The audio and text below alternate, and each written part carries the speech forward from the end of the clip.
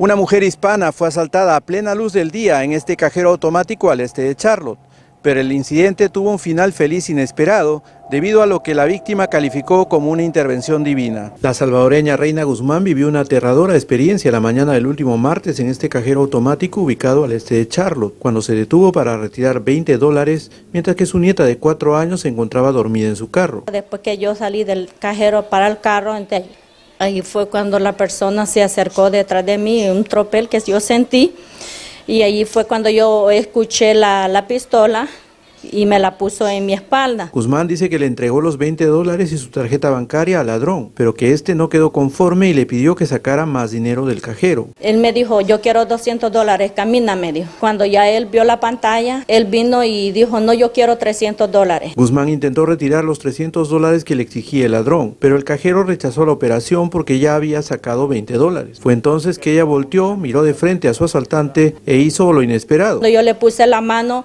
en, en el en el hombro de la, mano derecha y yo le dije, Dios te bendiga, llévate los 20 dólares, que Dios te bendiga. Guzmán dijo que sus palabras tocaron el corazón del ladrón, quien sorprendentemente le devolvió su dinero y se fue. No, dijo, este, yo no necesito los 20 dólares y me regreso. Se regresó otra vez de, de, regreso, me agarró la mano y me puso los 20 dólares otra vez en mis manos. Horas más tarde, la policía arrestó al sospechoso, que fue identificado como Thomas Grips, de 24 años, quien se encuentra en la cárcel del condado Mecklenburg y afronta cargos por robo con arma peligrosa y secuestro en primer grado. Dios me dio la fuerza para que yo pudiera bendecirlo a él. No, uno nunca sabe a veces las necesidades de las personas como Ana, ¿me entiende? Guzmán dice que no le guarda ningún rencor al asaltante y que por el contrario espera que reciba la ayuda necesaria para cambiar su vida. Yo no tengo nada contra él. Lo único que yo sí digo de que fuera bueno de que pues hay que tenerle más cuidado a la juventud de hoy. Desde Charlotte, reportando para Mundo Hispánico, Eloy Tupayachi.